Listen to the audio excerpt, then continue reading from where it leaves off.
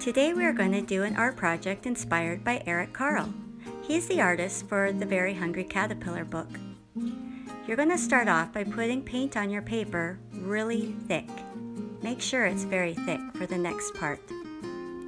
Then you will take some forks or combs or any kind of object and scribble little designs through your paint. After that, I took another paint color and splattered it on top.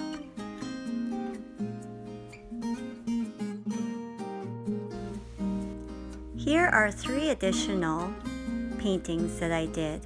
We will be using these later in my project. While I waited for my paint to dry, I found some clip art I liked on the internet. I cut it out into separate pieces that I will use to make my project. Now I will take those pieces and trace it onto the back of my paintings. When I'm done with all of them, I'll cut them out. Now I will arrange my pieces on my paper.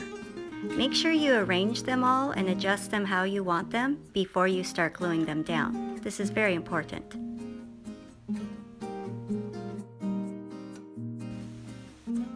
Finally, I add some details with a black marker. And there you go. It is our bookworm for our school readathon, inspired by Eric Carle. Thank you for watching. If you like this video, please share it and subscribe if you'd like to see more. You can visit us on our website at simpleandgrandlife.com. Keep it simple, make it grand.